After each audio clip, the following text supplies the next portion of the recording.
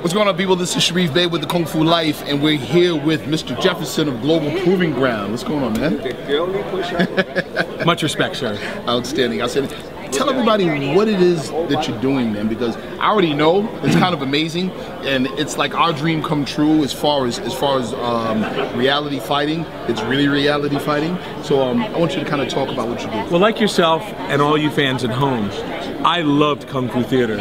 I loved Kung Fu the series. David Carradine grabbed me and held me for that hour Yes. every week. Yes. And uh, Kung Fu is at the root of what Global Proving Ground is. But on top of that, all forms of martial arts.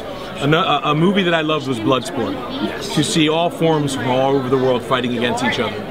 Not many people know this, especially the younger fighters, the younger fans, don't realize in 1993 when Royce Gracie and Dan Severn and all those guys got into Colorado, the only place that would sanction MMA, they had original forms. You had uh, Royce Gracie, a small man, going against a 400 pound sumo guy. Officially. Officially, That's right. yep. That's right. And and there and there wasn't as many rules. exactly. So what we felt was let's take old school, bring it new school, get you the fans involved.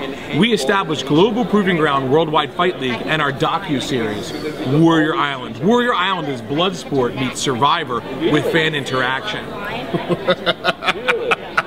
Less rules, more blood, more fun.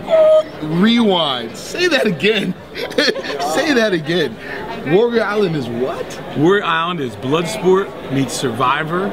We take old school, bring it new school. Wow. We got less rules and more blood. That's. hey man, you heard it on. And since it's a secret island, there's no regulation.